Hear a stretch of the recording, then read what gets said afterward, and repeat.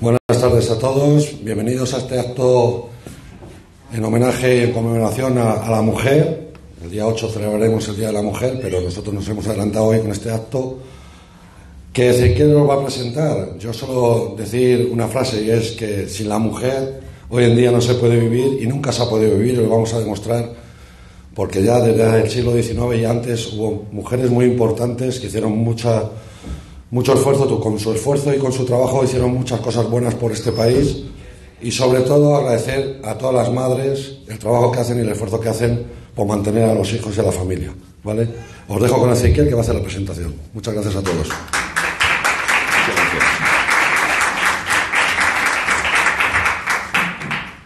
Muchas gracias, alcalde, y muchas gracias a todos los asistentes. Es un placer el tenerles aquí y el poder contarles, bueno, pues algo que que a lo mejor desconocemos o quizá no nos acordemos. Eh, si ustedes me acompañan, nos vamos a subir en un autobús del tiempo, pues de una línea nueva que ha abierto Autocares Bayo, y nos vamos a ir hasta el siglo XIX. Estamos en Cartagena, estamos viendo cómo se aproxima un barco en el que viajan Amadeo de Saboya y su jovencísima mujer, María Victoria Dalpozo.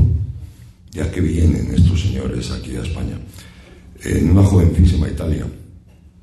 Venía, se le propuso a Amadeo de Saboya que ocupara el trono de nuestro, de nuestro país. ¿Y esto por qué ocurre? Eh, ya saben que reinaba Isabel II. Isabel II acaba en el exilio con una batalla, una guerra, una movida que hubo, que fueron los dos años de la gloriosa. Y el que por aquel entonces era el presidente de nuestro país, pues se comprometió a que nunca más volvieran a reinar los Borbones en España.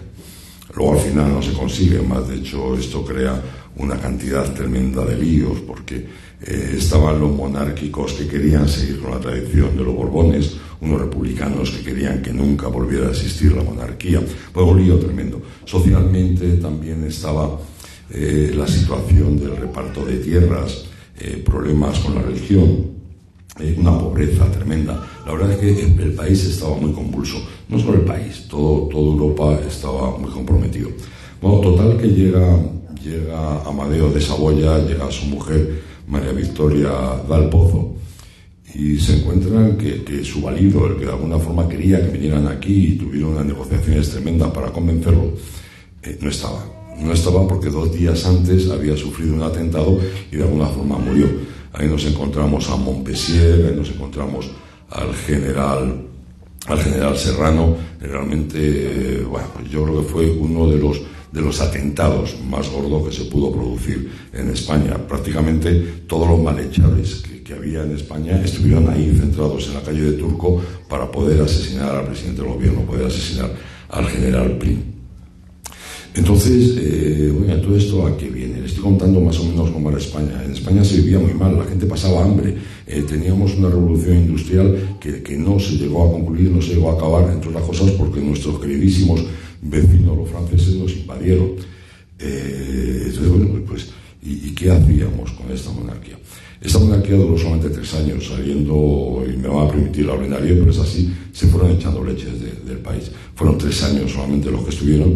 Amadeo de Saboya ni siquiera hablaba, hablaba español, eh, pero sí su mujer. Su mujer, posiblemente una de las personas más cultas que existían eh, por aquel entonces en nuestro país, hablaba seis idiomas, entre ellos, por supuesto, el español. Y de hecho se dice, se cuenta, seguro que es cierto, que el discurso que, que ofreció el rey Amadeo I de Saboya se lo había escrito la, mujer, se lo escrito María Victoria de, Dal Pozo. Eh, esta es una persona que nos va a visitar, es cierto, nos ha costado mucho ir hasta el siglo XIX y convencer a su majestad para que venga aquí a contarnos cómo fue su vida y cómo fue su paso por, por nuestra España.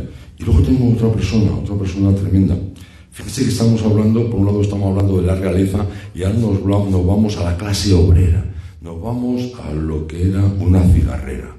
¿Y qué era una cigarrera? Eh, por aquel entonces el tabaco tenía muchísima importancia, es un producto que habíamos traído de, de, América.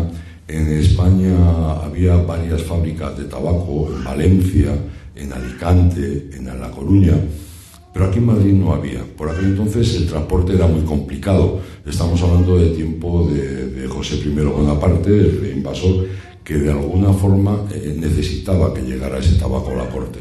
¿Qué ocurría? Que por aquel entonces los bandoleros, los atracos continuados, hacían que mover cualquier tipo de mercancía fuera algo realmente complicado. Entonces decide montar aquí una fábrica de tabaco, la Real Fábrica de Tabaco y Rapé. Eh, ¿Dónde lo hace? Había un edificio, un edificio que lo había hecho Carlos III, que era la fábrica de licores eh, perteneciente a la Hacienda Real, y en ese edificio es donde se hace la, Real Fábrica de Tabacos. Le voy a contar una anécdota con el tema del rapé. Seguro que todo. Estoy así introducido porque el micrófono está abajo, ¿eh? Que eh, eh, ahí le voy a contar una anécdota y es que, bueno, la verdad es que esta postura también es como muy de barra, que también es muy agradable, muy ortopédica, eso es cierto. Bueno, pues todos habremos ido alguna vez la expresión de echar un polvo.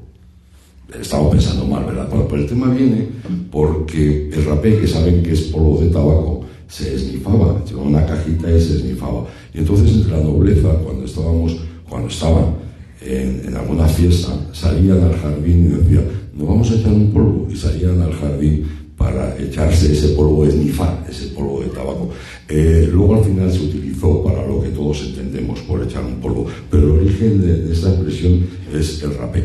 Eh, luego les contaremos por hemos conseguido traer a una cigarrera. No entendemos la lucha, la unión y el avance que se hizo a nivel laboral sin ese gremio, sin el gremio de las cigarreras. Mujeres que hacían de todo, trabajaban de sol a sol, cuidaban a sus hijos, les amamantaban, sufrieron grandes enfermedades a consecuencia del polvillo que se producía con el tabaco. Eh, y hemos conseguido traer una cigarrera también del siglo XIX que nos va a contar cómo era su día a día. Y entonces, luego verán la unión entre una reina y una cigarrera y cómo lucharon las dos para disfrutar del bienestar que ahora posiblemente tenemos todos.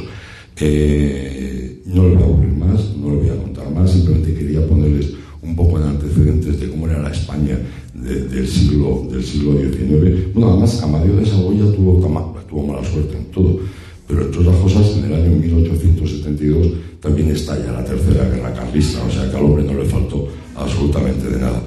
Eh, y ahora, si me lo permiten, vamos a dar la bienvenida a una auténtica protagonista.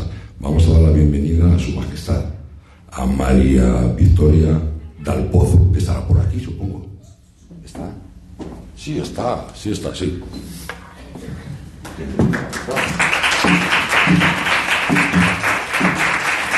Disculparme, eh, estoy perdida, estoy muy despistada. Ha cambiado mucho todo desde, desde que me fui. Esto no tiene nada que ver. Hay bullicio, hay ambiente, hay gente en la calle. Eh, cuando yo me fui era otro mundo. Era pobreza, había mucha desazón, mucho miedo. Las mujeres estaban muy indefensas. Ahora veo a las mujeres por la calle que van hablando y discuten y protestan y se enfrentan a los hombres. Antes no, esto no existía. Pero bueno, no sé si me he presentado, no, no me he dado cuenta si me han presentado o no. Vengo del siglo XIX, eh, llevé una vida muy peculiar, muy triste. Fui reina, fui vuestra reina durante tres años, pero realmente no me quisisteis, nadie me quería. Eh, fui la extranjera.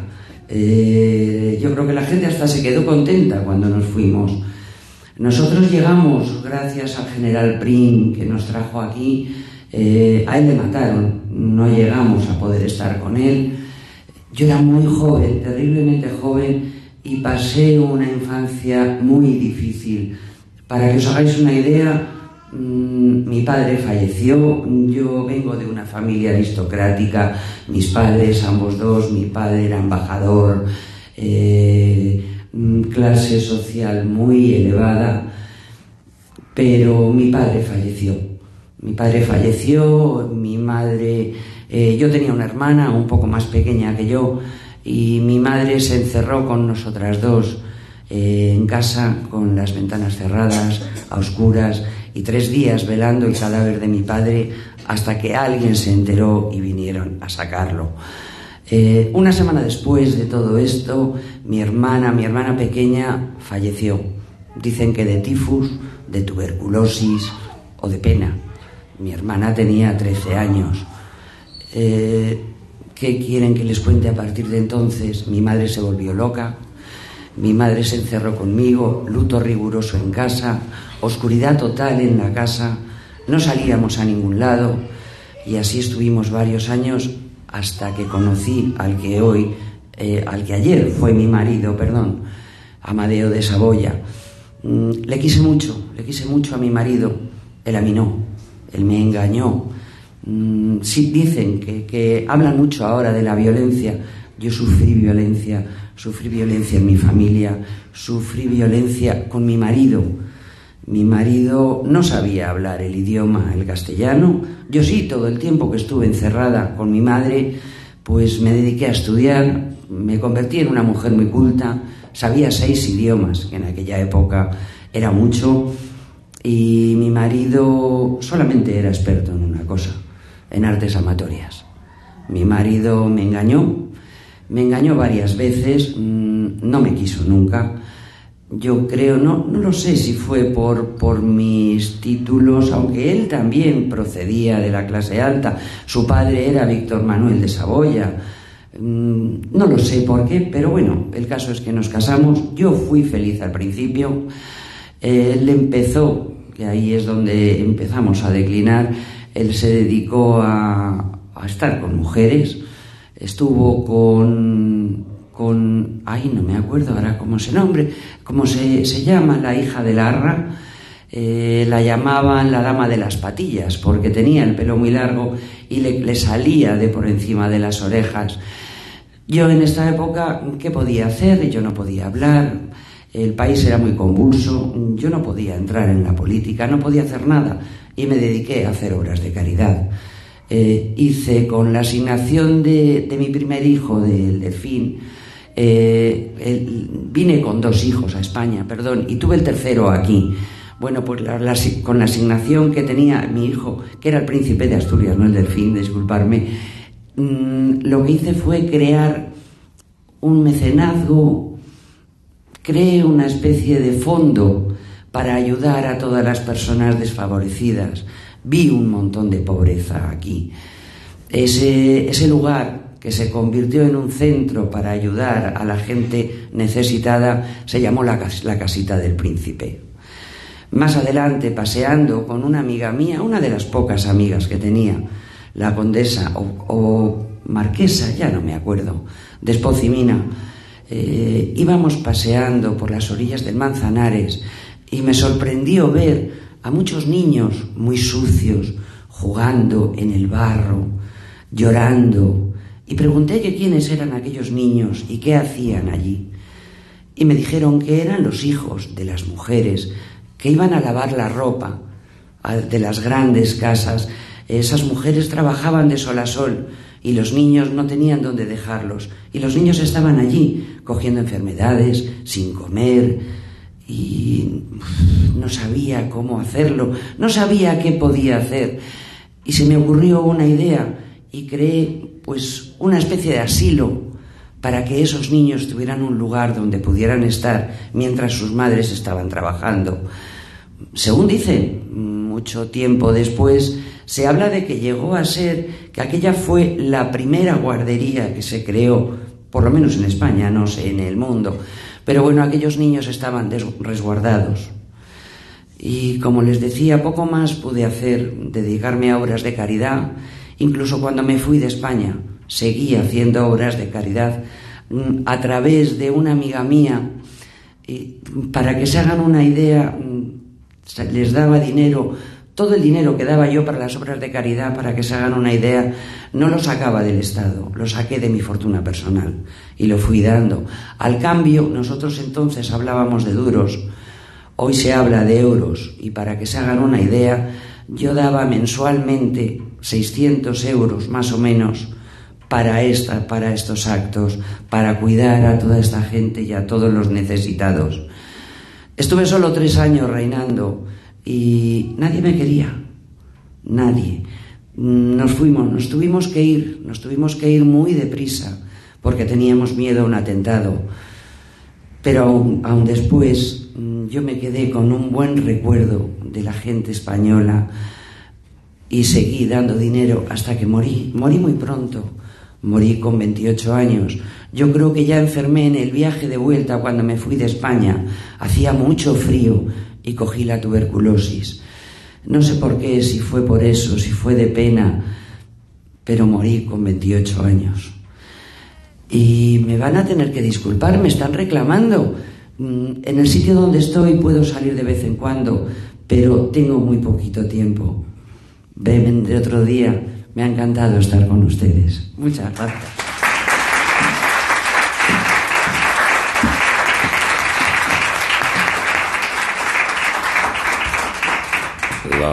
La, modestia de, de esta reina del siglo XIX, de María Victoria de Alpozo, eh, hace que no cuente, que también creó lo que ahora llamaríamos un comedor social y fue el primer comedor social que también creó ella. Hizo muchísimas más cosas, con ayuda de Concepción Arenal, con ayuda de un montón de gente, pero es algo que tenemos que agradecerle y mucho.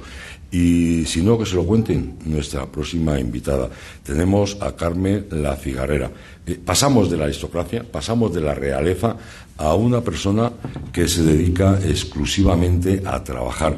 Trabajaba porque tenían que comer, comían, era supervivencia pura. Y a ella le debemos muchísimas cosas. No sabían leer, no sabían escribir, pero sí sabían luchar y sí sabía lo que querían. Carmen La Cigarrera, por favor.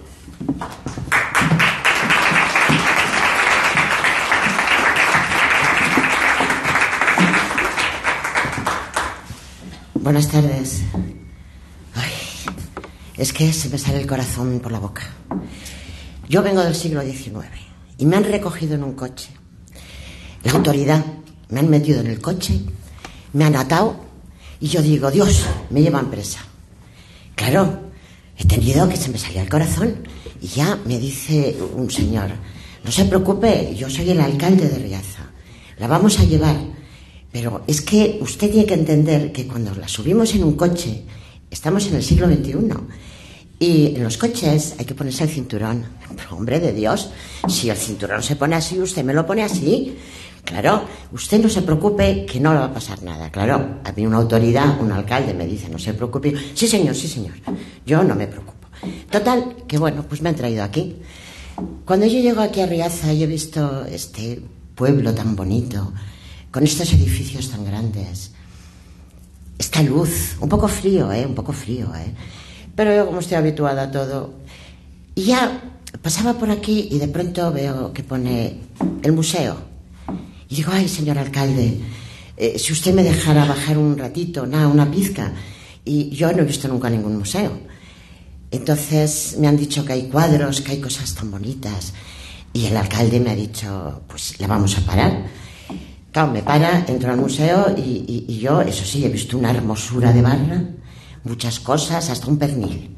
Y yo con el hambre que traía, digo, pues yo creo, pero ya me ha dicho, no, la traemos después y aquí ya mm, usted eh, come. Ah, bueno, pues bien.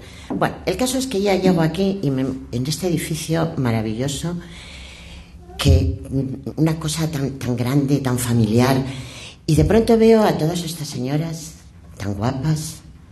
Mira que son guapas las de tu pueblo, ¿eh, alcalde? Son guapas, elegantes, yo os oí hablar y habláis también. Y claro, al pasar he visto que hasta salía una reina. Digo, pero bueno, vamos a ver, vamos a ver. ¿Yo qué hago aquí? Yo no sé leer ni escribir. Yo no, no, no sé qué voy a hacer. Y de pronto he dicho, ah, no. Yo soy la mujer del pueblo. Soy la que defiende a los sabreras. Mi nombre es Carmen. Soy Carmen la cigarrera. Sí, ya sabe que ahora todo el mundo estaréis pensando, bueno, sí, el mito de Carmen la cigarrera. Pues sí, soy valiente, soy descarada, soy orgullosa de ser mujer. Pero yo vengo aquí y no creo que, vamos, que tampoco habéis avanzado tanto, ¿eh? Hacéis muchas cosas, decís muchas cosas y sobre todo ponéis nombre a todo y eso es importante. Bueno, me han dicho que hasta leéis libros que no tienen páginas, yo no sé lo que es eso. Pero yo he dicho, bueno, yo ya veré lo que es. Pero igual que vosotras, nosotras también fuimos criticadas. Ahora, por mucho que hayáis avanzado, os critica la sociedad porque trabajáis, los niños, empleáis unas palabras. Que si la conciliación familiar de no sé qué. Por cierto, cuando llego aquí yo no hacía más que mirar el techo y, bueno, mal que bien era como los que yo recordaba en mi época. Pero yo pensaba eh, que veía, iba a haber un techo de cristal, porque ala, allí el techo de cristal. Bueno, el tema es que habéis avanzado, sí, habláis de violencia doméstica, violencia filioparental, violencia psicológica. Mira, nosotros en mi época no sabíamos absolutamente nada de esas palabras. Aquí llegabas, te daban un bofetón, un coscorrón y te habías quedado con ello. Pero hay una cosa que teníamos muy clara a las mujeres nunca nos tienen que pegar, que maltratar, que criticar. Pero es igual, nosotras seguíamos luchando, igual que vosotras. Fíjate qué os voy a decir. Vosotros queréis que, nosotras estábamos unidas. Nos defendíamos unas a otras. Vosotros, yo he visto desde arriba que a veces puñaladas por la espalda, ¿eh? Pero nosotras no. Nosotros vivíamos en unas corralas con habitaciones que incluso no tenían ni, ni ventana a la calle. Nos ayudábamos en el trabajo y en la casa. Nosotras fregábamos, barríamos, cuidábamos a los niños, cuidábamos al marido, cuidábamos a los abuelos, al primo, al cuñado que venía de la mili. Ahí comía todo el mundo. ¿Qué te faltaba comida? Un poquito más caldo al puchero, agua chirris, pero llenaba el estómago. Y esa éramos nosotras. En la época esta íbamos a comprar te acercabas a la barandilla. Pepa, sube y cuídame al muchacho. Subía la Pepa, el muchacho siempre con mocos y moscas, pues no había otra cosa. Y los cuidaban los niños. Tú llegabas, ibas a cogías, comprabas el avión, un cachito choriza, lo que te dieran, llegaban los chavos al puchero, ¡ala! Esa era nuestra vida. Los hombres en aquella época, aquí en España, en todos los sitios, pero sobre todo aquí en España, había hambre, había hambruna. Y no había trabajo. Por eso ya os contaré que el trabajo de la cigarrera era muy, muy envidiado. Como no había trabajo, pues los hombres salían, salían a la plaza, buscaban, no les daban trabajo. Ahora vosotros decís que se os ayudan en esas labores, ¿cómo las llamáis? ¿Domésticas? A nosotros, ¿sabéis cómo nos ayudaban? Sufrían mucho, pobrecito mío, ¿eh? Se sentaba en la plaza, en la mesa una copa de vino, un amigo, unas cartas y un puro. Ale, pero sufrían, ¿eh? Sufrían, ¿eh? Pobrecitos míos, ¿eh? Nosotras, todo eso es lo que teníamos que luchar. Y luego, aparte de eso, nos levantábamos a las seis o las cinco de la mañana. Las fábricas de tabaco en aquel momento era un trabajo que todas las mujeres queríamos ir. Nos criticaban, ah, mira, está trabajando y tal, porque había que comer, hay que, hay que sacar un jornal. ¿Qué ocurre? Que en las fábricas de tabaco nos encontrábamos a veces las tres generaciones, la abuela, la madre y la nieta. Había que trabajar y trabajábamos de sol a sol, en unas condiciones totalmente infrahumanas. Hacía frío, hacía... Bueno, os puedo contar mil y una, pero lo más importante es que eh, hablaban, por ejemplo, de enfermedades, las cigarreras teníamos enfermedades todas. No, es que te decían, es que esta chica, fíjate que qué blanca está, es que, pero vamos a estar blancas? Estábamos tísicas, no comíamos, trabajábamos, pues todas tísicas. Pero no importaba, nosotros seguíamos trabajando. ¿Qué ocurre? Que el salario era muy poco, pero más o menos era lo que, lo que podíamos llevar a casa. Teníamos eh, la espalda, pues estábamos encorvadas, pues, pues teníamos eh, lo que ahora llama, ah, tengo un poco de reuma, nosotros no sabíamos lo que teníamos. Teníamos cáncer de piel teníamos montones de... Y una enfermedad que fijaros qué cosa más curiosa. Decían que la cigarrera éramos muy hechas para adelante, muy chulas, muy... Claro, eh, ay, es que con esos ojos que nos miran entornados. Claro, entornábamos los ojos porque el humo del tabaco nos dilataban las pupilas. Y ahora, ahora, yo he leído por ahí, bueno, he leído no, porque no sé leer, me lo han dicho, que se llama oftalmia. Con lo cual no veíamos pupilas dilatadas ni de lejos ni de cerca. Bueno, pues vale, pues no veíamos, palpábamos, pero no veíamos. O sea, enfermedades todas. ¿Qué queréis decir en las penurias que nosotros estábamos pasando? Mira, como no teníamos dinero, había un sitio en Madrid que eh, se llamaba, el, bueno, creo recordar que era en la esquina de la calle Tribulete, que se llamaba el Colmao. Eso ahí se, se cogía al fiado. O sea, yo llegaba, hola Pepe, dame un poco para latillo, tengo que poner algo, escuché un cachito tocino, lo que sea. Y te lo apuntaban, apúntamelo. Claro, llegaba un momento que ya Pepe ya no apuntaba más y decía, ah, no, ya no se la fía. Bueno, pues entonces te quitabas el mantoncillo, se lo dejabas y te ibas sin él. Cobrabas, volvías, cogías el, mantenillo, el, el, mantoncillo, pero lo importante es que en nuestras casas había un puchero y podíamos dar de comer. Las penurias que pasábamos, bueno, os voy a contar una cosa. Ahora vosotros venís y decís que lo, los hombres os tocan. Que os tocan. A nosotros no nos tocaban, a nosotros nos magreaban y no podíamos decir nada. Mira, en la fábrica decían, un, un momento que decían que, que, que nos llevábamos eh, puros, que nos llevábamos. Y, hombre, robar, robar, no, pero hombre, un puro, pues hombre, sí que nos llevábamos. Entonces nos ponían a la salida todas en fila, tique, tique, tique, y nos iban, lo que ahora llamáis cachear, a nosotros magrear. Bueno, y entonces nosotras, para poder soportar esa indignidad, para poder aguantar con un poco, inventamos ir cantando. Y entonces íbamos cantando una coplilla y decía, lleva la cigarrera en el rodete, un cigarrillo habano para su Pepe. Bueno, los guardias no os podéis imaginar cómo nos podían criticar. Es igual, nosotros íbamos cantando para poder paliar todo ese dolor. Alegres, claro que tenemos fama de ser alegres, porque con la vida que llevábamos no comíamos, trabajábamos y encima no vamos a ser alegres. Pues si teníamos una perra chica, nos gustaban las zarzuelas, nos gustaban los toros, nos... que tenías un poquito, te ibas a un pueblo, te colabas en la galera o en el carro, que no tenías, pues te ponías en la puerta de, la salida, veías a los toreros tan guapos, tan altos, con esos brillos, ¡ole, ole! Y te ibas a tu casa y ya habías visto algo.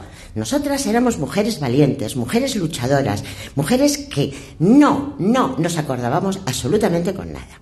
Mirad, a nosotros no nos daban ni un permiso. Ay, ahora, queridos míos, no sé cuántos días porque paren, porque la paridad, porque yo la palabra parir solo la entiendo de parir. Yo no entiendo nada más. Nosotros, como no nos daban ni un solo día de libre, si te ponías enferma, no ibas a trabajar, no cobrabas, no comías. ¿Que te morías? Pues ni te ponían a enterrar porque no teníamos ni un duro.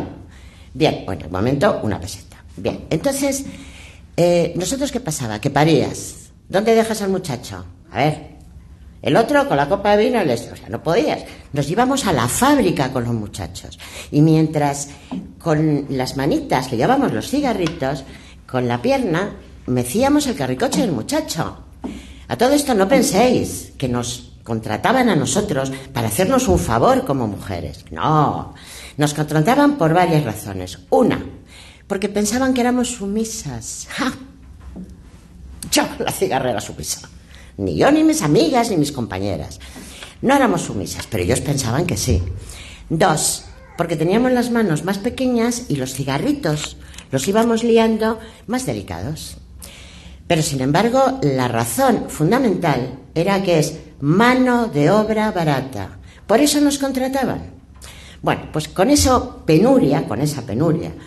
Claro, llegaba un momento que se moría la gente. Como estamos trabajando hasta el último día, el último aliento, pues todo eran problemas. Y un día, pues ahí, estábamos ahí un par de compañeras y dijimos, esto hay que hacer algo, porque claro, es que, es que esta fulana está mala y es que no come. Bueno, entonces inventamos, cogimos una cajita y todos los meses, cuando nos daban ese jornal chiquitito, metíamos lo que podíamos. Una perra gorda, una perra chica. Bueno, íbamos metiendo. Cuando alguien se ponía enferma o se moría, sacábamos nuestro dinerito y la podíamos ayudar. Con lo cual, a ver, no sabemos leer, no sabíamos leer ni escribir, inventamos el fondo salarial. Ya está, fijaros. Bueno, pues un día nos dimos cuenta realmente del el poder que teníamos. Porque en aquel momento éramos 23.000 cigarreras en toda España, entre la fábrica de, Madrid, la fábrica de Sevilla, que por cierto, una cigarrera que yo la conozco, una amiga mía, hizo una poesía. ¡Ole! La fábrica de La Coruña, que por cierto, esa señora tan, tan a mí me gustaba, que sabía tanto, la Pardo Bazán escribió de una amiga mía, una cigarrera que se llamaba Adela. Pues entre todas éramos 23.000. Claro, nos dimos cuenta de que éramos, hoy llamaríais colectivo, nosotros decíamos, somos los mayores. Bueno, entonces, ¿qué ocurre? Que hicimos una huelga. Hoy huelga, en nuestra época amotinamiento. En ese amotinamiento estaba un rey, ¿cómo se llamaba este? Ah, sí, sí, Fernando VII. Bueno, no os podéis imaginar.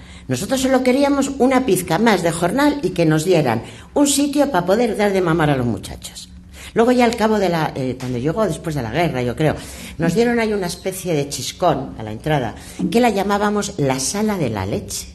Pero solo queríamos eso, algo donde dar de mamar y un poquito más, un, un poquito más de cuartos. Bueno, pues nada. Nos llevaron a toda la, toda la, la, autoridad competente en caballos, como si fuéramos, bueno, claro, ¿qué pasa nosotras? Bueno, os podéis imaginar, tirábamos cosas, bueno, bueno, bueno. Al final conseguimos esa, esa sala de la leche. Pero claro, ¿qué ocurre? Que éramos tan avanzadas que de nosotras, de las cigarreras, salieron las líderes sindicales. Salieron líderes sindicales como María, la muñeca. Ahora, eso sí, todo con nombres sexistas, que decís ahora. María, la muñeca. Pepita, la de los ojos bonitos. Bueno, a nosotros qué más nos daba. Sexistas o machistas, ¿qué más nos daba? Lo importante es que estábamos ahí, defendiendo a los obreros. Luego ya con el paso del tiempo, eh, todo se, se, politiciza, como decís vosotros ahora, ah, todo es política y tal.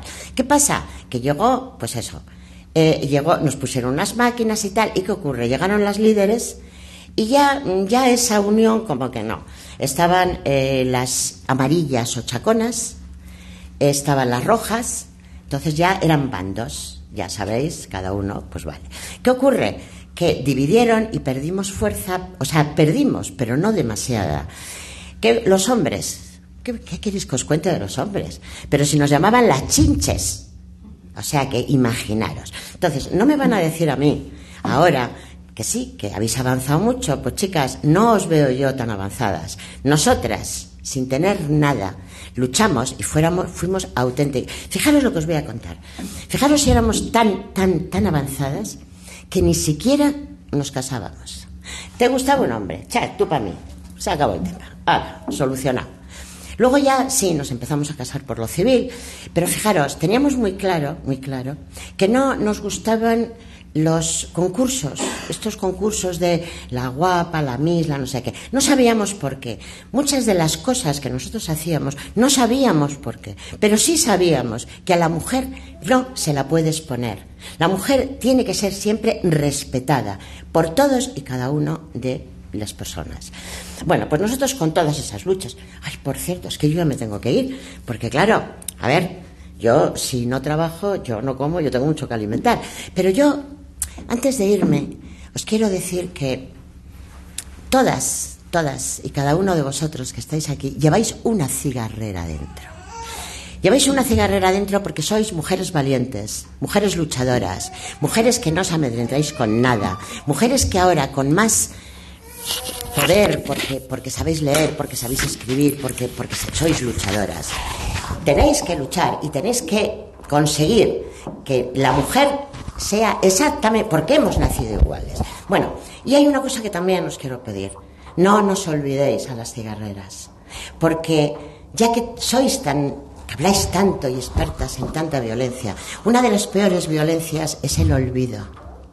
No nos olvidéis. Ay, os tengo que contar una cosa que era, bueno, cuando salíamos del, del museo, que me han dicho que ahora me va a dar algo, que me tengo que llevar algo para los míos, porque bueno, qué hermosura lo, lo que yo he visto ahí. Que no sé, que he dicho esto que es un canapé, creo que me han dicho, no sé, no sé, no sé. Pero vamos, yo voy a pasar. Yo cuando hemos salido de ahí, que, que yo iba mirando y, el alcalde, usted tiene que venir por aquí, que nos están esperando. Sí, señor, sí, señor, yo donde usted me diga. Veo que hay unas, eh, unas jovencitas, unas mocitas, que iban con algo en la mano, o sea, no sé qué llevaban. Y claro, yo me he quedado mirando y me dicen, ¿le gusta a usted? Y digo, pues, pues eh, sí, pero es que, ¿qué frasquito de colonia más bonito lleváis? Y me dicen, no, señora, esto no es un frasco de colonia, esto lo llevamos porque a veces los hombres se meten con nosotras y entonces nos defendemos, alma de cántaro. Nosotras en mi época llevábamos esto. Y con la faca. A mí no me tocaba nadie que yo no quisiera que me tocara. Pero ¿qué es eso de así? Saca la faca y defiéndete. Pero sobre todo, os pido, no nos olvidéis. Y ya, ya, ya me tengo que ir, porque ya el alcalde me está mirando como diciendo, alá, y, yo quiero que me lleven ahora. me he cargado el micro, creo, no, pero lo voy a subir, que me han dicho que esto se llama micro, porque claro, a ver. Pero antes de irme, quiero que todas, aparte de recordar a las cigarreras, recordéis que ni más mía que cualquiera, ni más tuya que de nadie. No tengo soga ni rienda, ni guapo que me defienda. Voy y vengo a mi aire.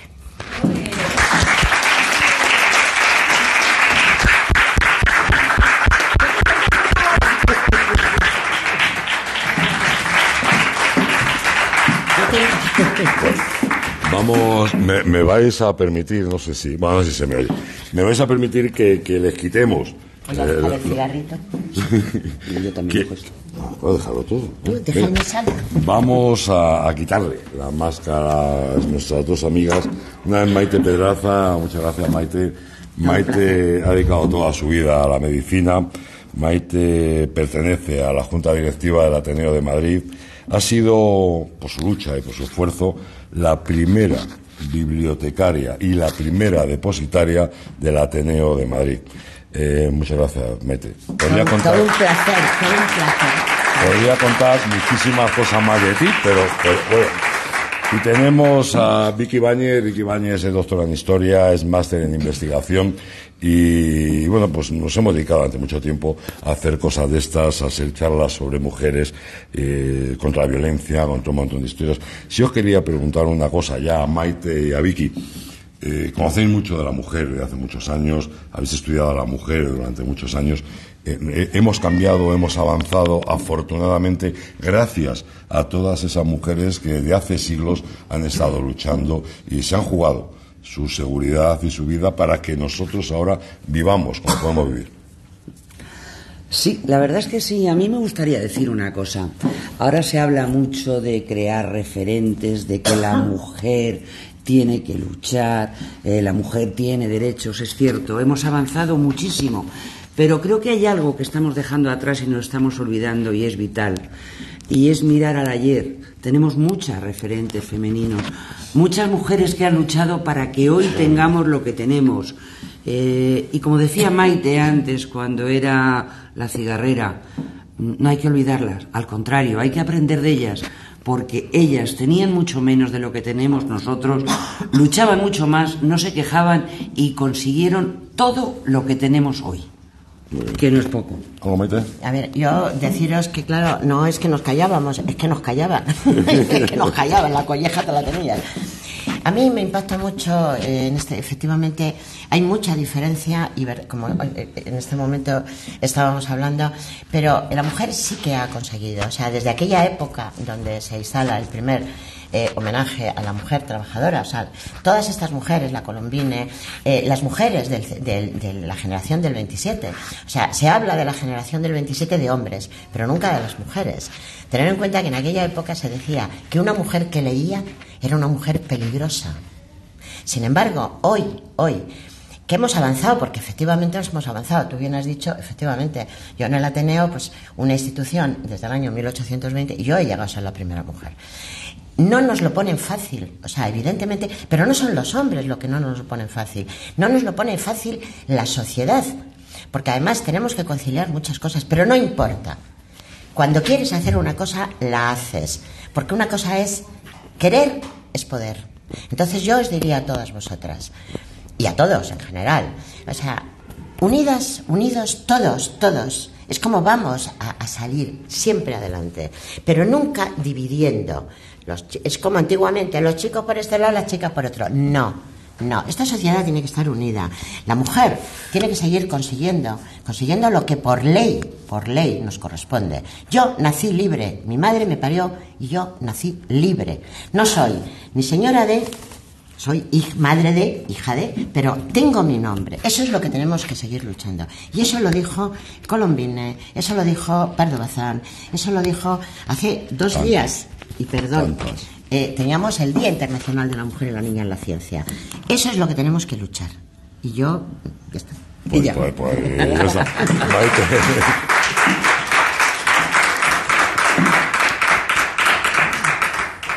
Muchísimas gracias, no tengo placer. Y ahora, ahora viene algo realmente divertido porque tenemos a Silvia San Juan. Silvia San Juan eh, nos va a interpretar unas canciones, eh, podríamos decir a nivel general, el título general de lo que nos va a cantar es No somos, no solo musas. Claro, porque evidentemente la mujer no es solamente la musa, es muchísimo más y todos lo reconocemos y todos lo sabemos.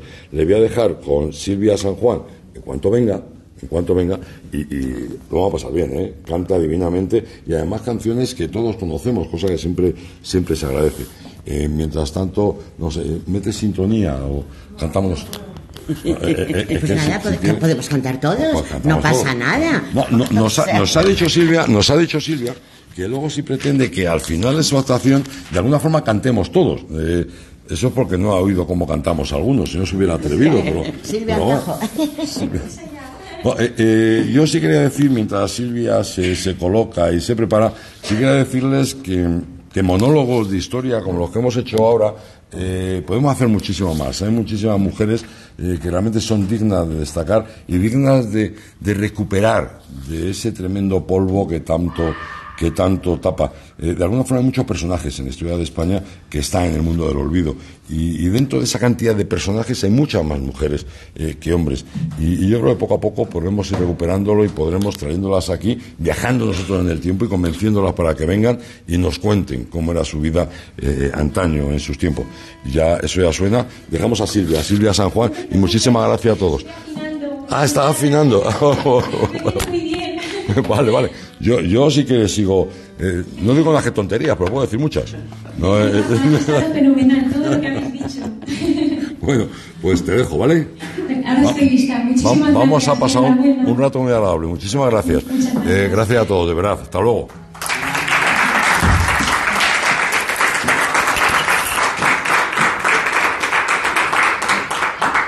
Bueno, hola a todos. ¿Qué tal? Buenas tardes.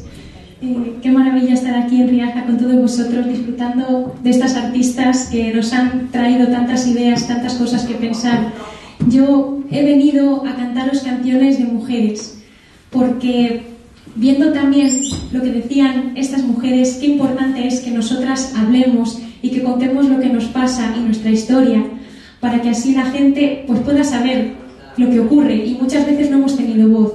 Entonces quiero, pues con este, este mini concierto que voy a dar, decir que no solo somos musas, que también somos ejecutoras y creadoras de las historias y de la historia.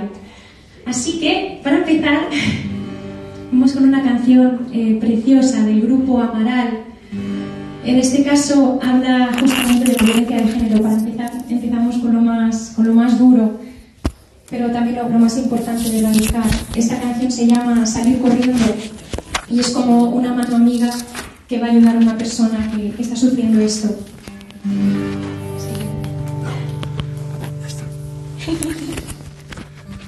Me vas a traer suerte. El espontáneo.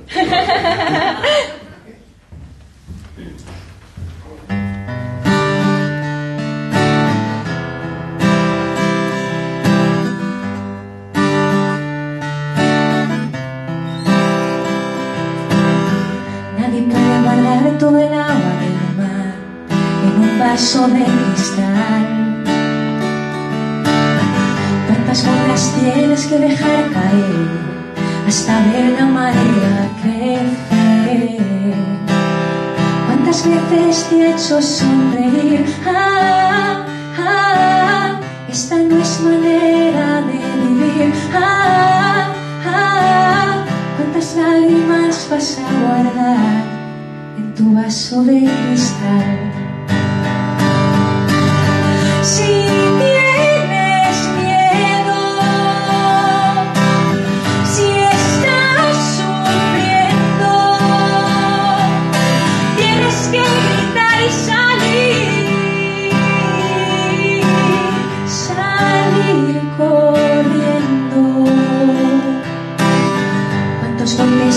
Las olas a lo largo en las rocas?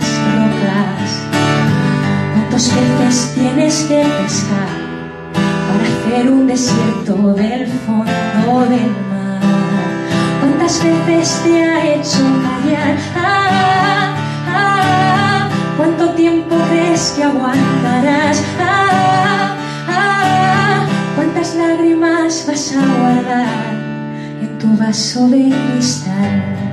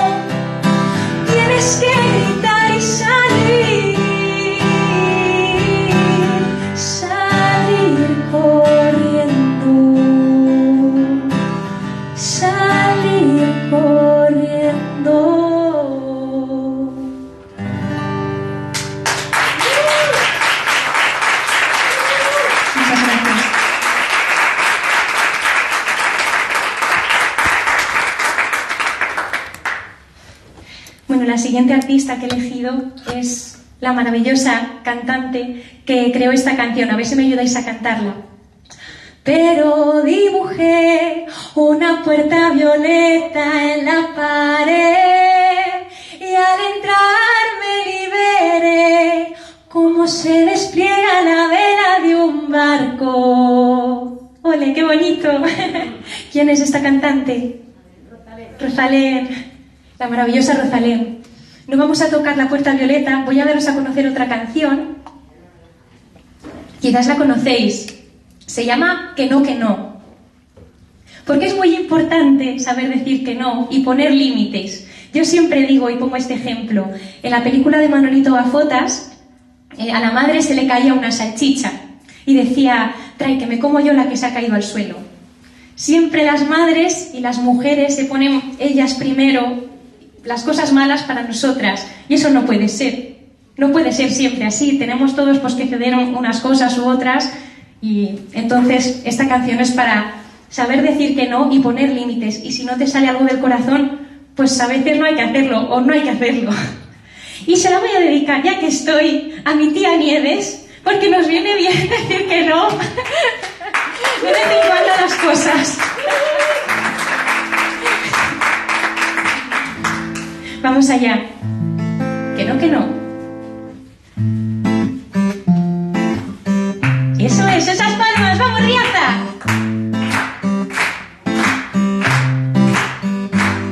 Llevo un tiempo que no descanso, que como poco cuesta sonreír. He pasado por el aro y he hecho cosas que no me hacen feliz. Bandeja llena de peticiones de mil favores y absolutamente nadie pregunta por mí. Lo pienso y me enciendo, ni pienso y despliego todo el arsenal de velas. Me paro, respiro, sonrío, me fío, descorcho una botella. Si elijo ser mi prioridad no es cuestión de egoísmo. El tiempo de calidad parte dedicado a uno mismo. ¡Hey! Y si no me sale del corazón,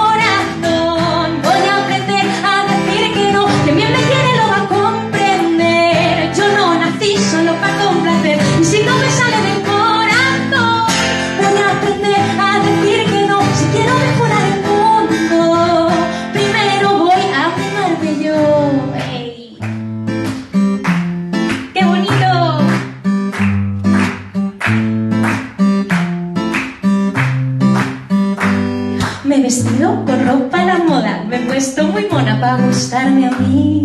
He comprado un ramito de rosas y nerviosa me he pedido salir. Tengo la cabeza llena de mil razones que me aseguran que el amor más verdadero está más cerca de lo que creo. Ay, qué tonterías y gritas si te quedas sola para toda la vida.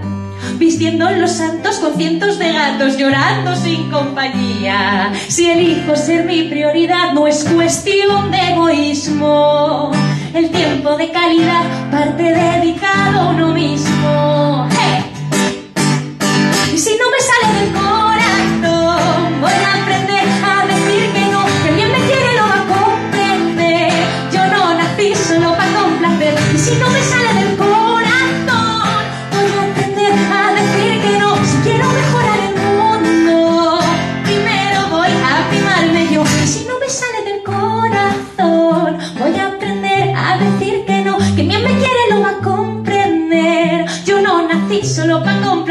Si no me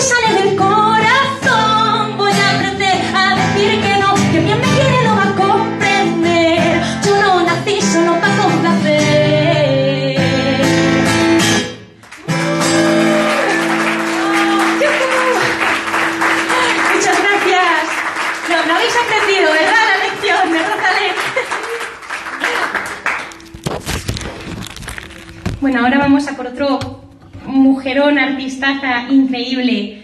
¿Conocéis a Maritrini? Sí. de Murcia. Fue la primera mujer que salió en pantalones en la tele y eso la causó pues muchas habladurías, siempre pues pensando que ella, eh, bueno, hablando siempre de su condición sexual, que también ella tenía esa parte en su vida que era tabú en el momento. Fue una mujer súper valiente que habló de cosas muy valientes, porque ella era compositora. Tuvo una enfermedad en las piernas que la postró en la cama durante muchos años y durante esos años ella aprendió a tocar la guitarra y a componer sus propios temas y a cantar lo que ella sentía y le pasaba. El tema que voy a interpretar es Yo no soy esa. ¿Lo conocéis?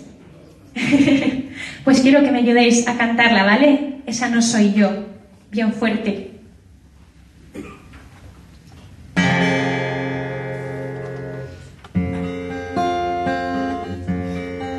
La cigarrera. O Maritrini. Como te he dicho antes, que como mi madre te pareces a Maritrini. Las dos rubiazas preciosas. Yo no soy esa que tú te imaginas, una señorita tranquila y sencilla que un día abandonas y siempre perdona. Esa niña así, no. Yo. No soy esa que tú te creías, la paloma blanca que te baila el agua, que ríe por nada, diciéndose a todo, esa niña no. No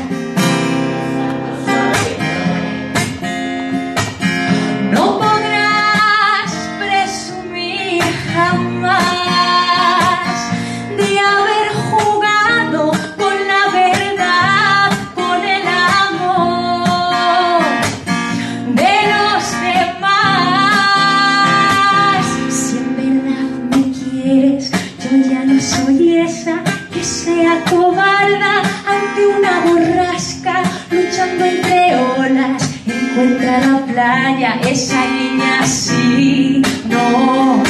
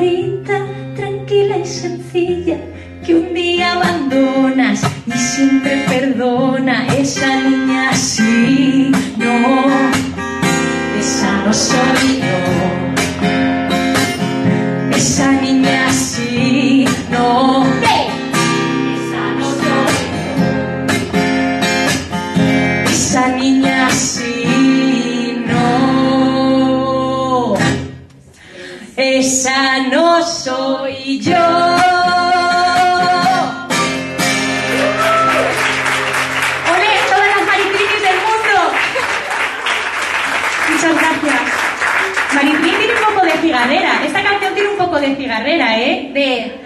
De, aquí estoy yo. No me amilana nadie. Muy bien, muy bien. Pues pasamos a otra. Es que bueno, es que esto es un ramo de flores de mujeres increíbles, como todas. Vamos a pasar ahora a otra rubia, increíble, bailarina, intérprete espectacular, que no es de aquí, pero es casi como si lo fuera. Salió mucho en televisión española, en los bailes de Lazaroff. ¿Sabéis de quién hablo? Italiana, la Rafaela, la Carrá maravillosa. Pues vamos a por una canción que se llama Hay que venir al sur, porque lo importante es que lo hagas con quien quieras tú y no con nadie más que tú no quieras. Vamos allá.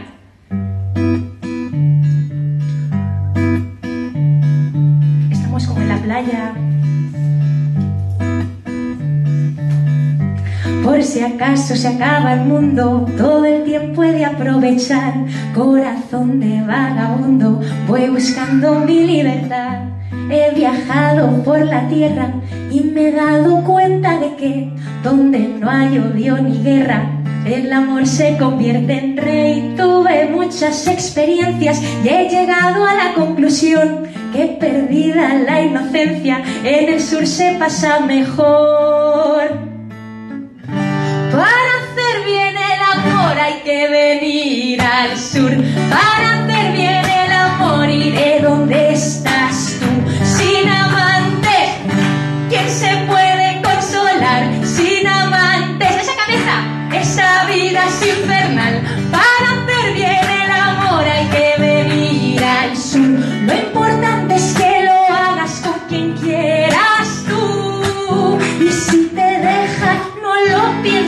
más. Búscate otro más bueno.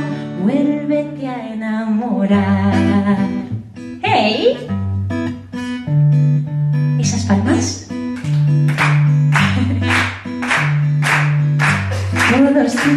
El amor es amigo de la locura, pero a mí que ya estoy loca es lo único que me cura. ¿Cuántas veces la inconsciencia rompe con la vulgaridad? Venceremos resistencias para amarnos cada vez más. Tuve muchas experiencias y he llegado a la conclusión que perdida la inocencia. ¿En dónde se pasa mejor? ¿En Riaza? Sí.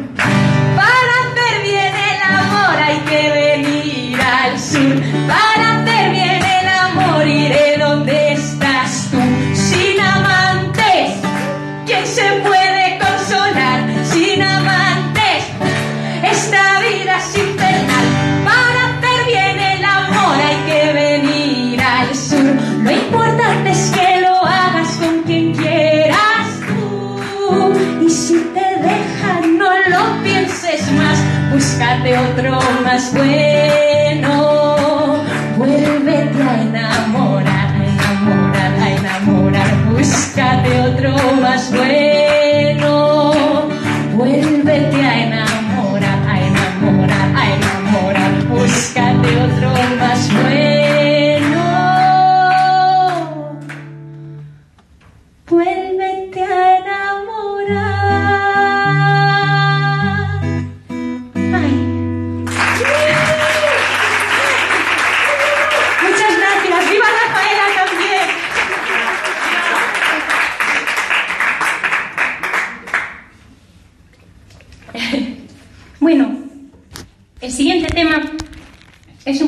Pretencioso por mi parte, incluirme dentro de este manojo de rosas, increíbles artistas, pero es que el tema que voy a cantar es propio y viene al caso porque trata un tema bastante interesante, que es el hecho de quedarte soltera.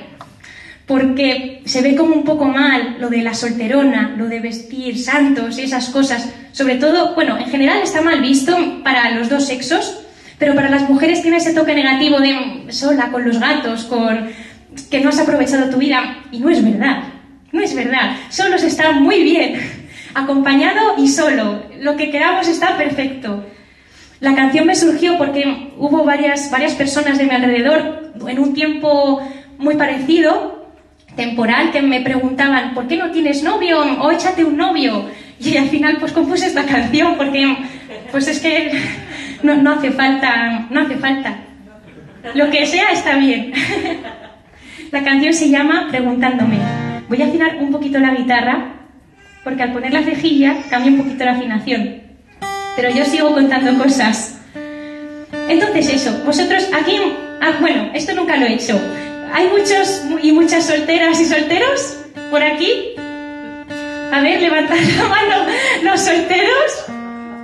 No, no me apoyáis, mi... ¿estáis todos? Bueno, pues también, también, también. Bueno, nosotras somos compañeras de piso, claro. al menos. Pues bueno, esta canción es para que nos demos cuenta que solos estamos ya completos también. A ritmo de J. Arriba sus brazos. Cuánto suspiro por ti,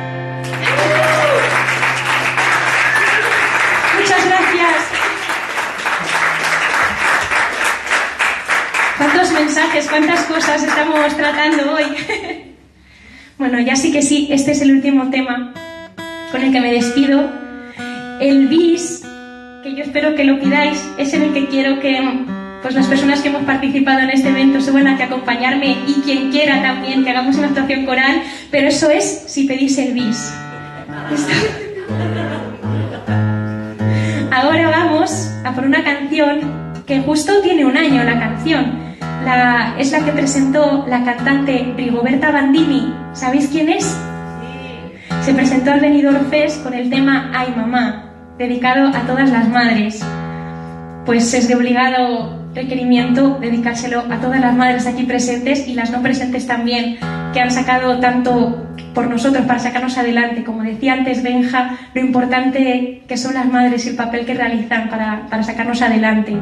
Poquito a poco que las tareas y todo se vaya repartiendo más y ese peso se vaya repartiendo más, pues ojalá. Ahora mismo vamos a, dedicárselo a ellas porque se lo merecen, ese ay mamá, y a cantarlo muy muy fuerte. ¿Me acompañáis? Y nos despedimos con esta canción. Un aplauso mientras bebo agua.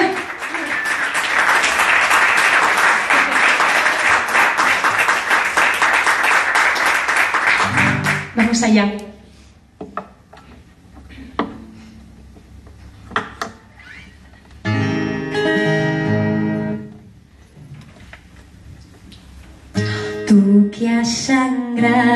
Tantos meses de tu vida. Perdóname antes de empezar, soy engreída y lo sabes bien. A ti que tienes siempre caldo en la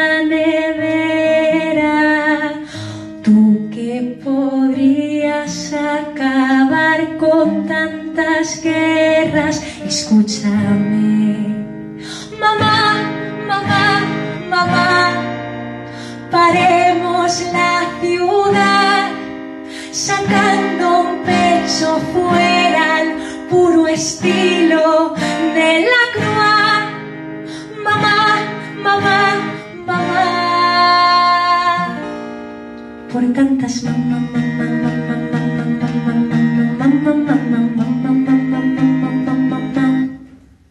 出し出しパンパンパンパンパンパンパンパンパンパンパンパンパンパン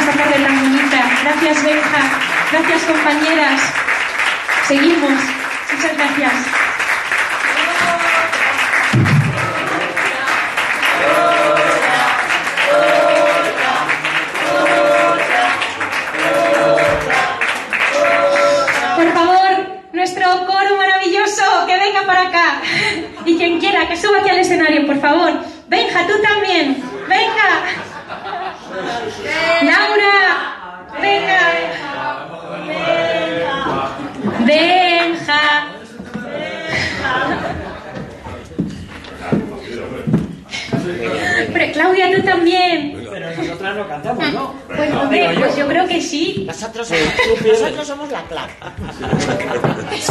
Exacto. Cuerpo de- es un coro. Los gogos, nosotros somos aquí los Nos falta Benja, mira.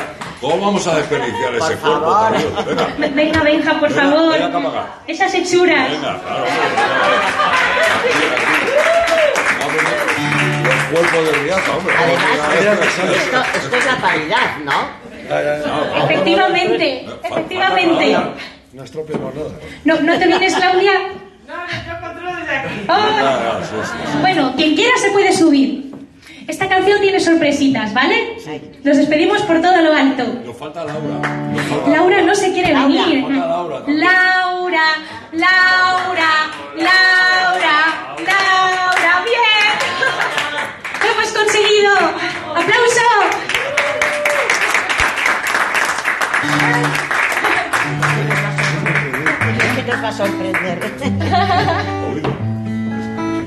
Laura, muchas gracias. Perfecto. Pues vamos allá. ¿Preparados? Sí.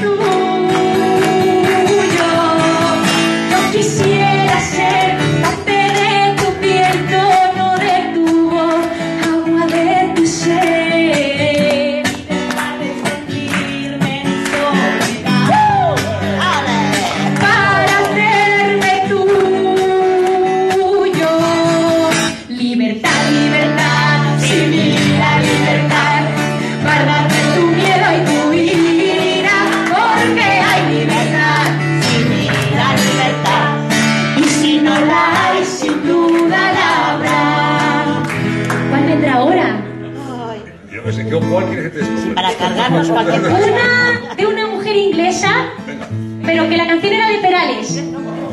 Que busca el paraguas o cierra algo de eso. Algo así. ¿Algo así? Hoy en mi ventana brilla el sol y el corazón se pone triste contemplando la ciudad. Porque se vas. ¡Ole!